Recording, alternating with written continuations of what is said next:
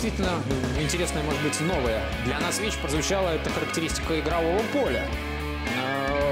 Снизу Валерий Чал, наверное, виднее, и он сказал о том, что состояние газона сегодня не позволило показать футбол более высокого качества. Хотя, э, если исходить из качества э, как э, производной тех усилий, которые команда предприняла и того результата, которого она добилась, то качество игры Казанского Рубина сегодня оказалось высоким.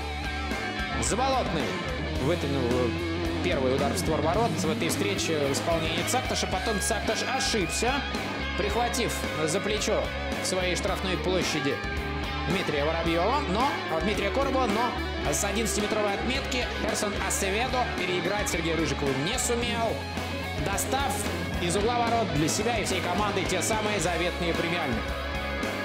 Это очень важный момент. Незадолго до окончания первого тайма он потащил пенальти, а на последних минутах перед перерывом еще и вытянул вот этот сложнейший удар в исполнении Херсона Асеведо. Не став рисковать, поставив два кулака под этот удар, чилеец шел на перерыв, наверное, с надеждой отыграться во втором тайме. Но во втором тайме вообще игра шла под э, диктовку казанской команды. Уже они владели инициативой, они наносили более опасные удары. Вот этот был выстрел в исполнении Максима Каноникова. Хороший ответ от Спартака Гогнева. В сложной позиции, хлесткий удар под планку и снова Сергей Рыжиков. Достает опасный удар из собственных ворот. Настоящий фокусник. Эта попытка тоже Спартака Гогнева уже была менее опасной. Здесь мяч пролетел достаточно высоко над перекладиной ворот. Но отметим, что Спартак Огнев все равно центральная фигура в атаке своей команды. И, как выяснилось, в обороне тоже, потому что именно форвард Гогнев оказался здесь брошенным на произвол судьбы. Он поборолся с Бергстрёмом. Перед тем э, он был вынужден отступить от другого игрока, которого прикрывал. И мяч этот влетает в ворота от головы шведского защитника. Счет становится 0-1. Снова Спартак Гогнев. Новая попытка попасть в ворота. В этот раз, наверное, самая красивая попытка Спартака Гогнева падении, почти через себя, но здесь мяч летит уже слишком далеко от створа ворот.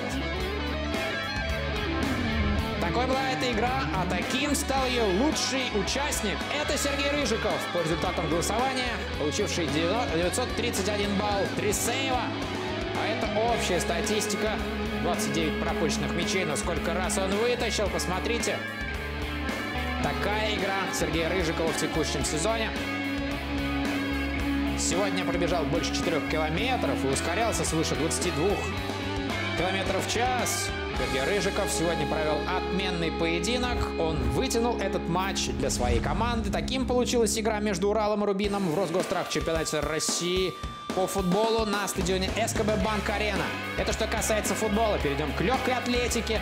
Максим Кануников, Магомед Аздоев и Мия Цакташ сегодня пробежали больше всех, хотя до отметки в 12 километров никто так и не добрался. Максимальная скорость в этой игре также у представителей казанской команды Мио Цакташ и Гильермо Котунья разгонялись до 31,6 км в час. Херсон Асеведо оказался самым быстрым футболистом Урала. Это интересно. А вот Артем Фидлер выполнил максимальное количество передач в этом поединке, хотя по точности пасов лучший результат показал Роман Емельянов 89% из 57 попыток. На этом все. Благодарю вас за внимание. Комментатор встречи Роман Трушечкин и наша бригада благодарит вас за просмотр этого матча. Урал уступил Рубину.